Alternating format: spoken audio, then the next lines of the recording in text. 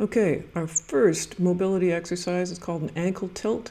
It is hitting some areas underneath the ankle bone. First one's going to feel it on the outside, the next one will feel it on the inside. Look at what you're stretching and moving here and telling the body that you need are these tendons, muscles, ligaments. So we just tilt literally the ankle to side to side, both together, one at a time.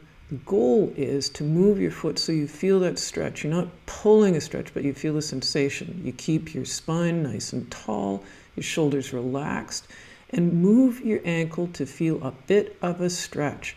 Don't hurt yourself. All you need are three to four times a side. You will notice that this will start to help your balance, strength, and posture. Okay, so these are the uh, outside or lateral tilts. The next one, you have to step out a bit to drop your ankle in for the medial tilts. Look at all the goodness that you're moving there.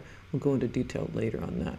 Just two or three, four times a side. Remember, check your spine. Keep it nice and tall. Your head up, head up, and shoulders relaxed. And that's it.